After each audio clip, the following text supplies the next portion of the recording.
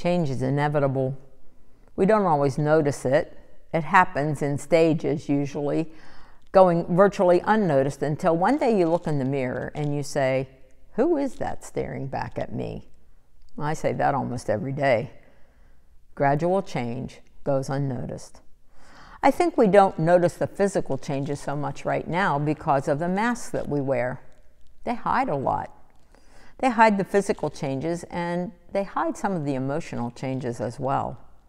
For a year now, I have worked with 20 other individuals and interacted with at least that many parents on any given day. But we always wear our masks, unless it's mealtime. Then we practice social distancing, of course, and the masks of the children and the teachers can come off. But I don't eat with the children and the teachers.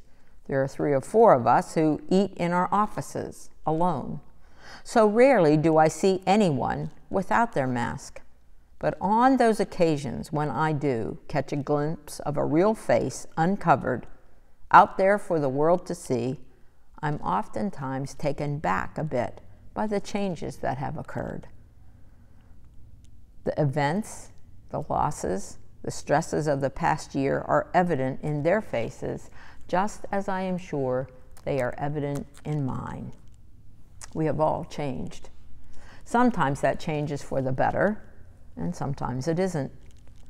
But good or bad, it happens. It's a part of life. The outward changes, once you see them, they're noticeable for sure. But the inward changes, not so much. Those changes can remain hidden, covered over. Lots of research has been done and questions asked about what people would like to change about themselves or about their lives. And most of the time, people respond with things that are something physical, like we want to turn black, back the clock of time, erase the ravages of our wrinkles, regain our muscle tone, get that young physique back, and grow a thicker, fuller head of hair. It's all physical.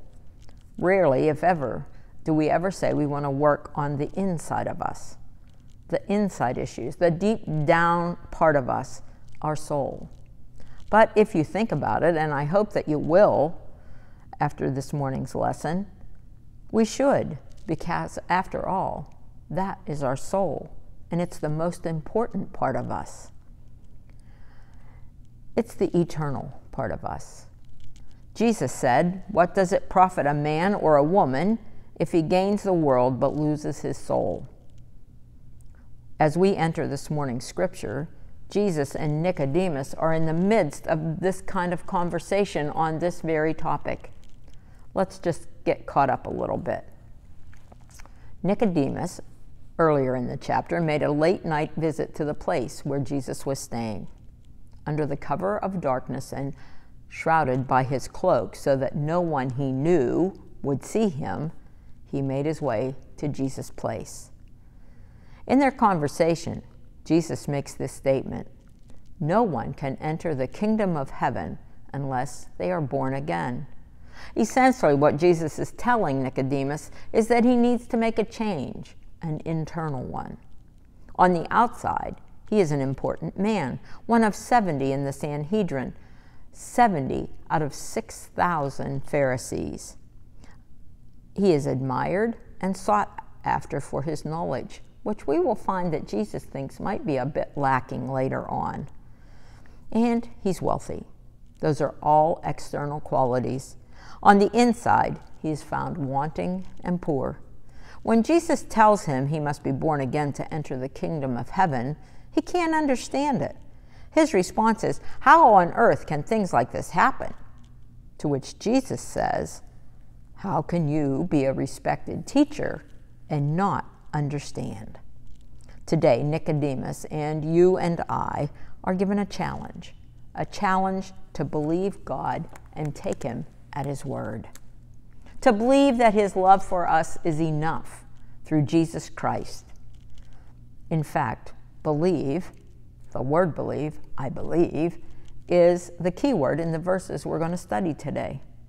Jesus, as always, and as he always has done with his followers, is challenging each and every one of us to believe. The word believe appears no less than eight times in verses 10 through 21, and three of those times they are in direct opposition to believing. They are not believing or refusing to believe.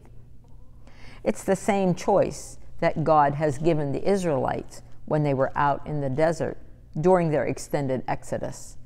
As they were wandering around in the wilderness, the Israelites were doing what they did best whining and complaining about their situation, saying all kinds of things against God and Moses. They were saying, Why have you brought us out here into this desert with nothing to drink and nothing to eat but manna? We hate manna, they said. They had all forgotten the good things that God had done in their lives, how He rescued them from the Egyptians and from slavery, the many times He had forgiven them already for their lack of faith and their rebellion. So God used poisonous snakes to punish the people for their unbelief and many of the people died. When God heard the intercessory prayer of Moses on behalf of the people, he gave them a way out, a way to be saved. He told Moses to hang a brass replica of a snake on a pole and to lift it high. When the people would look on it, they would be saved. There were two million people out there in the wilderness and one snake on a pole. For many, it would be hard for them to see that snake they would have to have a look of faith. They had to believe with their whole hearts that what that they were sinners, the sinners they said they were, and they had to believe that what God said would work would indeed work. And it did. It worked precisely because God said it would. Jesus shared this story with Nicodemus as a picture of what would have to happen to man if he were to be saved. Jesus would have to be lifted up high, and that we too would have to have the look of faith. We would have to believe and know in our hearts that we are sinners and that our salvation happens when we look to Christ and believe that He will save us. God provided this way for us to be healed from the deadly bite of sin. Do we trust and have faith? Do we believe that our salvation doesn't depend on what we have done or how hard we have worked or how good we are or how religious we are? Are we willing to step out of the shadows, out of the dark, and to say, I am a sinner in need of God's saving love? Are we willing to say that we believe in Jesus? Or are we like those who love the darkness more than God's light? That light would be Jesus Christ. Do we love our sin or do we love Christ? That's the challenge Nicodemus faced and that we face as well. In verses 20 and 21, Jesus presents Nicodemus with a warning as well as an invitation. Many people don't want to be changed. They are fearful because there is comfort of sorts in the known, even though the known can be worrisome and hard and dangerous. But here's the invitation do what is right. Step out into the light of Christ so that others can see they are doing what God wants. I want to close with a story written by Percy Perka. It says it all better than I can. Long ago, or maybe not so long ago, there was a tribe in a dark, cold cave. The cave dwellers would huddle together and cry against the chill. Loud and long they wailed. It was all they did. It was all they knew how to do. The sounds of the cave were mournful, but the people didn't know it, for they had never known life. But then one day they heard a different voice. I have heard your cries, it announced. I have felt your chill and seen your darkness. I have come to help. The cave people grew quiet. They had never heard this voice before. Hope sounded strange to their ears. How can we know you have come to help? Trust me, he answered. I have what you need. The cave people peered through the darkness at the figure of the stranger. He was stacking something, then stooping and stacking more. What are you doing? One cried, very nervous. The stranger didn't answer. What are you making? One shouted even louder. Still, no response. Tell us, demanded a third. The visitor stood and spoke in the direction of the voices. I have what you need.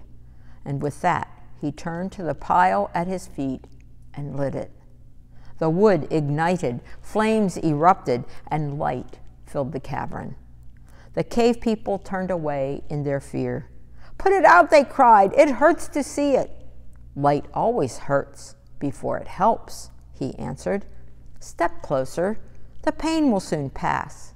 Not I, declared a voice, nor I, agreed a second. Only a fool would risk exposing his eyes to such light. The stranger stood next to the fire. Would you prefer the darkness? Would you prefer the cold? Don't consult your fears. Take a step of faith. For a long time, no one spoke. The people hovered in their groups and covered their eyes. The fire builder stood next to the fire. It's warm here, he invited. He's right, one from behind announced. It's warmer. The stranger turned and saw a figure slowly stepping towards the fire. I can open my eyes now, she proclaimed. I can see. Come closer, invited the fire builder. She did. She stepped into the ring of light. Oh, it's so warm. She extended her hands and sighed as her chill began to pass. Come, everyone, feel the warmth, she invited. Silence, woman, cried one of the cave dwellers. Dare you lead us into your folly? Leave us and take your light with you. She turned to the stranger. Why won't they come? They choose the chill, for though it's cold, it's all that they know. They'd rather be cold than change and live in the dark. And live in the dark? The now warm wood woman stood silent, looking first at the dark and then at the man. Will you leave the fire? he asked. She paused and then answered, Oh, I cannot. I cannot bear the cold. Then she spoke again, Nor can I bear the thought of my people in the darkness. You don't have to, he responded, and reaching into the fire and removing a stick, he handed it to her and said, Here, carry this to your people. Tell them the light is here and the light is warm. Tell them the light is for all who desire it. And so she took the small flame and stepped into the shadows. That's exactly what Christ did for Nicodemus, for you and for me, for all of mankind. He is the light, and He is here for all who desire Him. Let us pray. Father, Jesus told a man who was religious, who tried to get from this earth to heaven in his own works, how to get into the kingdom. Thank you for showing us as well. Help us to step into the light to feel its warmth, and to believe in the salvation that only you and your Son can give. Help us to be committed to you and you alone. Then encourage us, Father, to take that light out into the darkness so that all may know. In Jesus' name we pray. Amen.